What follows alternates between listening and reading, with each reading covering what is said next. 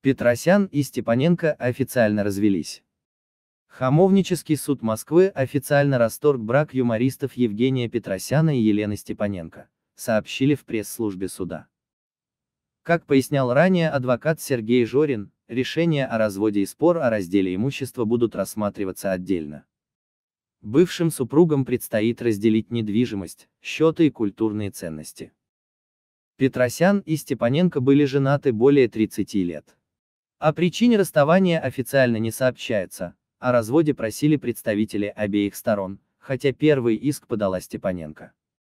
Ранее она назвала развод житейским делом и предложила дождаться решения суда.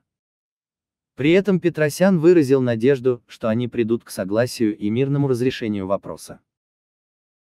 Друзья, поддержите, пожалуйста, молодой канал. Поставьте палец вверх, если понравилась статья, Оставьте свой комментарий, поделитесь публикацией в социальных сетях и подпишитесь на канал. Спасибо за просмотр.